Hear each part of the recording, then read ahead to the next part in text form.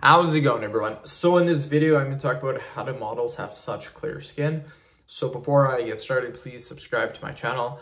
Um, if you haven't already, I do appreciate the support, helps my channel grow. Please follow me on Instagram, Dylanberg999. The reason why models have such clear skin is literally their job to look good. Like that is their job. So they do everything they can to make sure their skin looks 100% perfect. Now, the biggest things that they do, you guys, because I have done some modeling myself, the biggest thing that they have done do for their skin is exfoliate. Exfoliation literally means to get rid of dead skin. What it also does is it helps to get rid of oily skin as well. So if you want perfect skin, you need obviously to exfoliate, then you need to moisturize as well. That is how you're gonna have perfect skin.